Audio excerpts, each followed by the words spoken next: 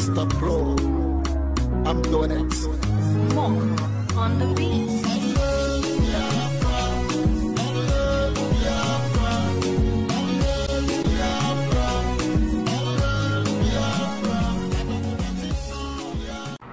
Welcome to Biafra Television London. We are coming to you from the Truth of the Matter platform. My name is Amadi Basilo, but presenting to you the general public to see the predicament of the people of Biafra in Nigeria. The Nigerian security forces are killing the people of Biafra, intimidating and harassing the people of Biafra, collecting money from them by force. It was shocking that on Sunday, 10th of September 2017, Nigerian security forces, the soldiers, went to the home of the leader of indigenous people of Biafra, Nnamdi Kanu, with armored tanks and the Hilux vans. To the extent they shot some members of IPOB in the home of Nnamdi Kanu. The people of Biafra are looking at this issue and seeing it as a threat to the life of the leader of indigenous people of Biafra. I am here with Mr. Carl Agbo, Mr. Carl Agbo, and Mr. Nnadi. They are going to talk on the issue, on this issue, and they make our audience to understand exactly the plan of Nigerian government against the leader of indigenous people of Biafra and Biafrans at large. This is the truth of the matter. Keep watching as the discussion unfolds.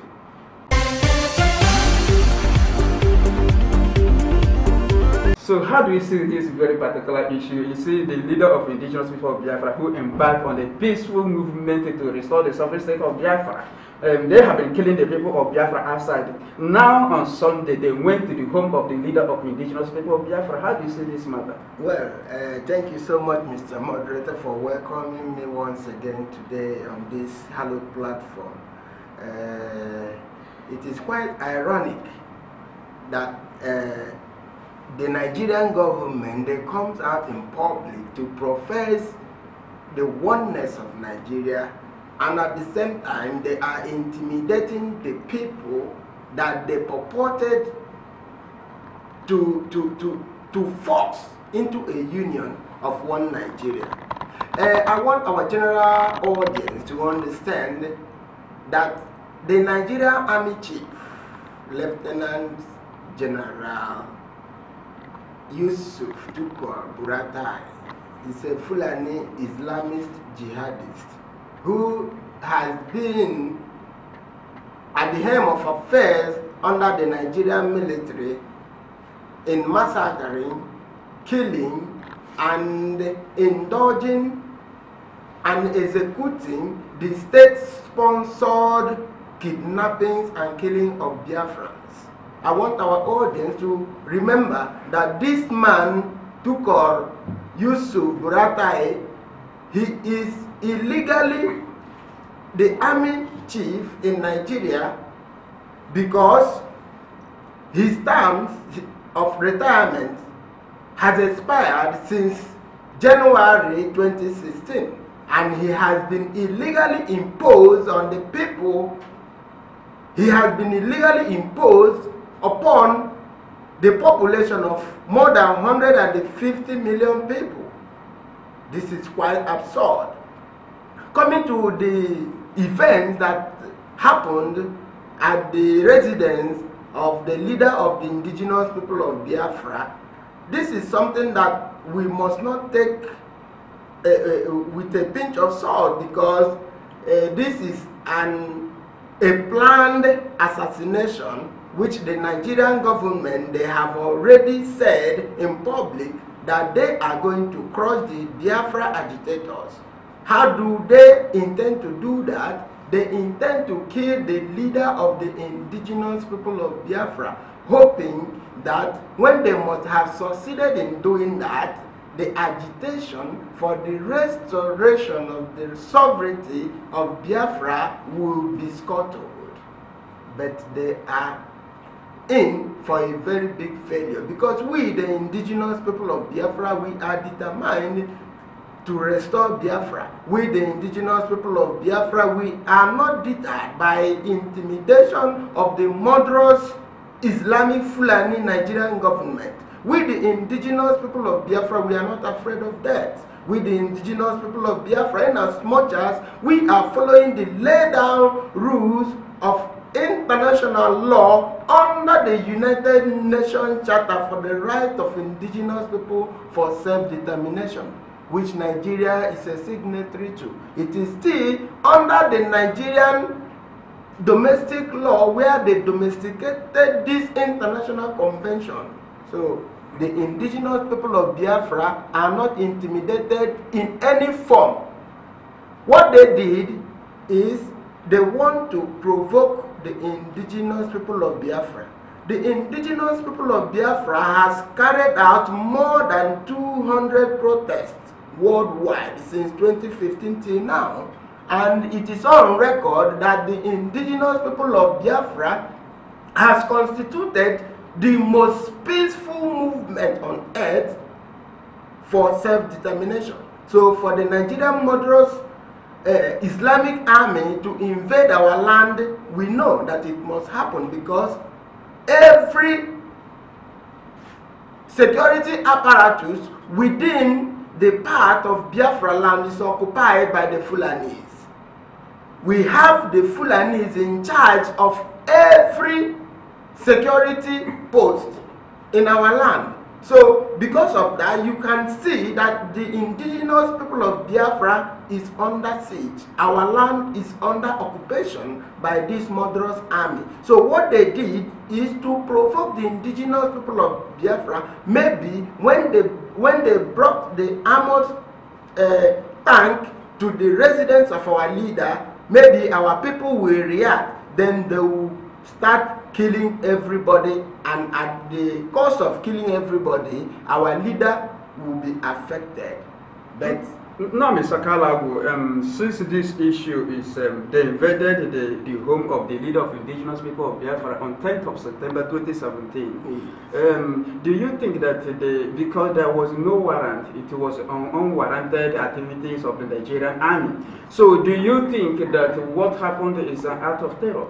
Of course, it is a terrorist activity because those you see under the Nigerian military fatigue, they are actually those Boko Haram members which Buhari announced to the world that they have surrendered.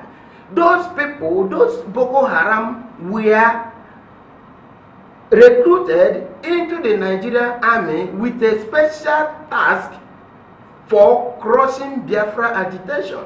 So when you hear Buhari, he gave a lot of money to these uh, uh, uh, Boko Haram killers and at the same time indoctrinated and included them into the Nigerian army for such heinous and evil mission. So that is what they have come to do. They wanted to provoke our people so that when our people retaliate, now they will use those their concocted news for the past two weeks to join it together and present it to the world that the indigenous people of Biafra are violently agitating for the restoration of Biafra. Their main intention is to make sure that they present the indigenous people of Biafra to the world that the indigenous people of Biafra wants to stop election in Anambra State and in Biafra land in general to stop. But try to understand I want our audience to know the difference between stopping an election and the boycotting of an election. Nigerian government is doing everything to make sure that they attach the indigenous people of Biafra to that stopping of election, which involved force. But what we are advocating, we the indigenous people of Biafra, we are advocating for a referendum. A referendum. A referendum by boycotting an election. Boycotting an election means we present our argument to our people the reasons why they should boycott the election. It is persuasive. We are persuasive in our approach because we are offering a sound reason why our people should boycott the election. But the Nigerian government is trying to show to the world that what we are intending to do is to stop the election, which is false. So when you look at it, you discover that Nigeria is fraud and the people that are in charge of the fraudulent Nigeria are fraudulent themselves. Thank you very much, Mr. Kalabo. Of course, the Nigerian um, soldiers, their aim was to provoke the indigenous people of Biafra you know, so that the world will see the indigenous people of Biafra as violent um, group of people. And it's very clear, and the world should understand that the Nigerian government and their security agents, that their activities against the indigenous people of Biafra is undemocratic, uncivilized, and their aim is to annihilate the indigenous people of Biafra, the people of Biafra. That is why they have a sessional selected security chiefs against the indigenous people of Biafra. So, Mr. Nnadi, uh, you can see what is happening, how Nigerian security agents, how they are treating the people of Biafra, and what we are looking at is to understand their aim and why they are doing all these things against the people of Biafra. So, and, and the world, the world is seeing, and many democratic nations are seeing what Nigerian security agents are doing against the indigenous people of Biafra, who embark on a recognized um, right. That is self-determination. Are you getting me? So now, um, how do you view the activities of the Nigerian security agents, especially the soldiers, and what happened on 10th of uh, September 2017? How do you view uh, the, well, the issue? Uh, well, the, the issue is this. Uh, the, the Nigerian military have an agenda. And that agenda is completely targeted on Biafrans. Is completely targeted on Biafrans. The agenda, the agenda of the Nigerian military is a pure and clear way of exterminating Biafrans. What are they doing currently? What is the actions of the Nigerian military? The action of the Nigerian military has to do with this principle of threat and intimidation. Then you ask yourself, why are they using this threat and intimidation? It's purely for political uh, uh, uh, now, Mr. Now, Mr. Nnadi, I would still like you to uh, to let the world to understand the, the, the pain or the predicament of the people of Biafra in Nigeria. Look at what happened um, in many in protests. Um, when we are when we embark on a protest, a peaceful protest, which you know that is part of democracy. Yeah, and the, at the peak of the protest, many Biafrans will be killed. And now they went to, they moved again to Nnamdi Kanu's house. Do you understand? Uh, how do you view the, this issue? I think uh, it is high time the world should begin to ask questions. Does military have this right in the first place? Like in, in, in, their, in their press release, they say they are testing their new purchased armored tanks. Armored tanks. Then I ask myself, you are testing a new purchased armored tanks in a community street, in the street of a, of a, of a village, in the street of a community. Or in another Kano's home. Don't they have deserts where ammunitions are tested? Nigeria is today so testing their own ammunition where the citizens, innocent citizens, civilians are living. So it is a very clear that they don't have any genuine reason. They are just trying to lay hands on one flimsy excuses to kill the leader of to kill the leader of the indigenous people of Biafra. But people should be very, very careful. Our people should be very, very careful from henceforth. We have to be more security conscious this time around. These people are really determined to eliminate Biafrans. They have killed IPOB in Aba, the same Nigerian military. They have killed in Anambra, Biafra land. They have killed even in Port Harcourt. They have also killed in Enugu. They have killed IPOB in almost all the gathering. Recently, when the leader of indigenous people of Biafra were, uh, was going to uh, Ebonyi State for a, a gathering, they almost killed him on the way. The same thing happened when he was on his way to Anambra, the last uh, uh, uh, gathering in Anambra. They blocked him on his way, they almost killed him on the way. So, what kind of nonsense is that?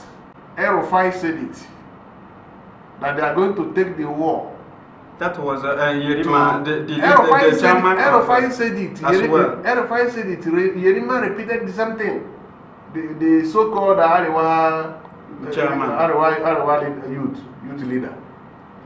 So, if you look at it practically, they are What did they simply- say? What did they the, say? The, the, the, I want to the, understand something. the Yerima said Mhm. that they will take the war to Nnamdi Kano's compound. Have you seen it? And uh, this is exactly what they are doing today. The world should look into this case now that it is not too late. Because Biafrans have come to restore Biafra. There is nothing on earth that will stop it. We must restore Biafra. Even though we are using the most peaceful way of getting Biafra, that doesn't deny us our right of self defense. So the earlier, the better. Thank, you very much. Thank you very much, Mr. Nnadi. Thank you. You put it so simply to our audience to understand the, the illegal activities of Nigerian security forces against the indigenous people of Biafra. Now, Mr. Carl Agro, you know, you look at, uh, you said it before that uh, what happened on 10th of September 2017 in the home of the leader of indigenous people of Biafra is an, is an act of terror. You said it. Now you see that um, the activities of Nigerian soldier uh, against the indigenous people of Biafra is uncivilized, undemocratic. So what do you tell the uh, relevant uh, organizations in the world and the democratic nations around the world? So what do you tell them? Well, I stand here today to put the world on notice, specifically uh, the United Nations. Why I call the United Nations at this point in time is because on the 6th of June 2017, the Arewa youth, they issued a quit notice. And at the same time, they also approached the United Nations asking them to uh, proscribe the indigenous people of Biafra as a terrorist group and also to prosecute Mazi Nnamdi Kanu, the leader of the indigenous people of Biafra. So, and after the- their communication with the United Nations, there was a counter press release or counter finding by the United Nations whereby they impressed upon the Nigerian government to arrest and prosecute those who issued such a threat and a quick notice. And from all indication, this quick notice that they have given is just a smoke screen in order to take over the properties of the indigenous people of Biafra living among them. So, what I am saying now, I'm urging the United Nations as a matter of urgency to intervene proactively with a reasonable uh, and strong approach to Nigerian government in order to impress upon them to arrest and prosecute these murderers who has already laid down their plans for 1st October 2017. Their plan is this. What transpired at Nnamdi Kanu's residence on Sunday is they want to test our people to see if our security men have gone. That is number one. Number two, they want to know the readiness of the indigenous people of Biafra to defend themselves. Why do they want to do all these things? Because starting from 1st of October, when these murderous Arewa miscreants will start to kill the indigenous people of Biafra, what illegal and imposed Buratai will do is to roll out the tanks on the street and send out the murderous Boko Haram in army uniform in order to prevent any form of reprisal attack from our people because from October, if our people are attacked in the north, our people at home, they will not keep quiet because they have killed us enough. And also, I want to use this opportunity to warn Nigeria because the indigenous people of Biafra, we are resident in almost every part of the world. And we want these people that we are living in their, in their vicinity to please impress on the Nigerian government in your country. Approach them in their embassies. Now, Mr. Kalago, um, the activities of Nigerian government and the, the, and the security um, operatives, that is the security agents against the indigenous people of Biafra, is undemocratic, Of course. uncivilized. Of course. Now, what do you tell the, um, um, the democratic nations around the world? Because there are countries that are, they are democratic nations and they know that these activities are undemocratic. What do you tell those, uh, those nations? What I tell them is to uphold their principles and the tenets of democracy, which they have always continuously been preaching to the third world countries. Inasmuch as much as Nigeria, as a member of the United Nations, inasmuch as much as Nigeria, as a member of every international community, Thank you very is much. an it is an onus on these countries to impress to impress upon this murderous Nigerian state to implement democratic principles and honor the right of the indigenous people to self-determination which Nigeria is a signatory to. Thank you very much. Mr. Kalago. Thank you. Yes, um, you put it clear to the public, to the general public, to see the illegal activities of Nigerian security agents against the people of Biafra. And you have said also that the, uh, the democratic nations around the world must, um, must uh, press Nigerian government to respect democracy and to apply democratic process to handle the issue of self-determination in Nigeria. That is the issue of Biafra. So now, Mr. Nnadi, um, you see that um, the activities of these criminals, the Nigerian soldiers and the other security agents who are killing the people of Biafra, their activities are illegal and undemocratic. What do you tell the relevant organizations around the world uh, um, on this issue? Well, the truth is this. Before I speak to the relevant organizations, I want to say it very clearly, very, very clearly, that these people are playing with fire. These people are playing with fire because the fire will consume everybody. They can't continue to kill our people and go scot free. We are just keeping quiet for a reason, for some reasons. But that keeping quiet has a limit. So, to the international world, to the United Nations, African Union, ECOWAS, American government, British government, Nigerian government, and the entire world, they should allow us to go through this process of democratically constitutional way of self-determination. They shouldn't force us to do otherwise. We are trying to make sure that things are done peacefully. If Nigeria think that they, they are able to convince us to remain Nigerians, it is their duty to convince Biafrans. It is not the duty of Biafrans to convince themselves to be Nigerians. We don't want to be Nigeria again. And if you people keep quiet, you the international world, you the authority that governs the earth, if you people keep quiet and allow this killing to continue, remember like my colleague said here, we are in every country of the world. We are not afraid. We are just keeping quiet for a reason because we need peace.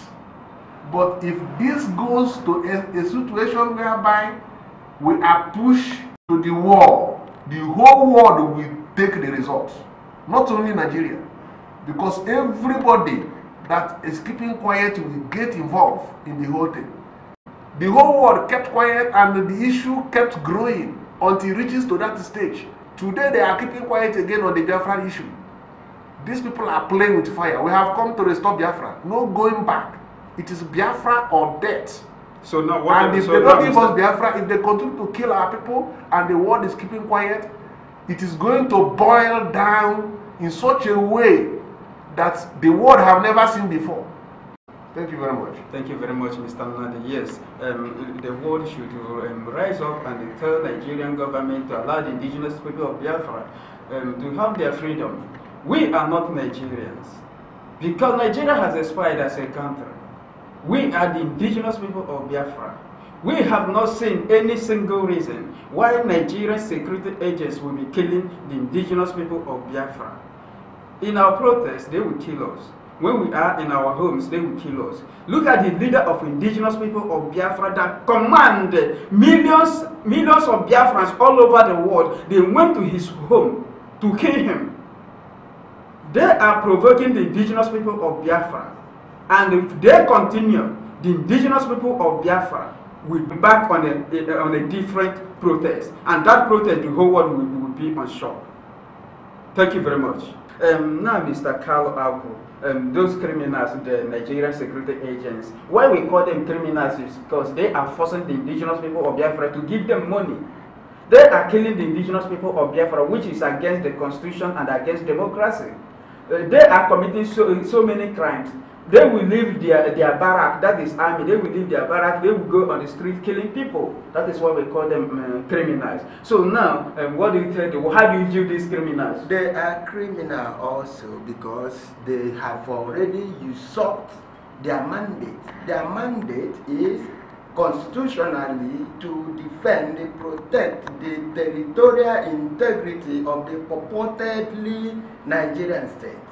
But you see, the entire Biafra land has been completely militarized by the Buhari-led government. Nigeria is supposed not to have been admitted into the Committee of Nations because what is obtainable in Nigeria can never ever be obtained in any other society except Nigeria, which is fraudulent place. So those people you see there, Muhammadu Buhari, Burata, all these are murderous agents. These are bloodsuckers. These are people who do not have anything to give to the society. Thank you very much, Mr. Kalawu. Thank you very much. So what we are telling the world today is that the Nigerian security agents are killing the people of Biafra. The Nigerian security agents are intimidating and harassing the people of Biafra. And these people of Biafra are democratic people. They are peace-loving people. Nigerian security agents are killing them. The worst is that Nigerian security agents, the soldiers, on 10th of September 2017, went to the home of the leader of indigenous people of Biafra. They shot some people in, in the home of the leader of indigenous people of Biafra. What was their aim? Their aim was to provoke the indigenous people of Biafra to see whether the indigenous people of Biafra will take up arms. They, they, they went there to, to try to see the capability of indigenous people of Biafra to defend themselves. And all these activities are uncivilized and illegal.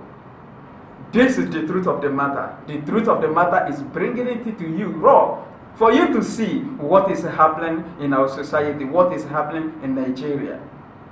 Thank you very much.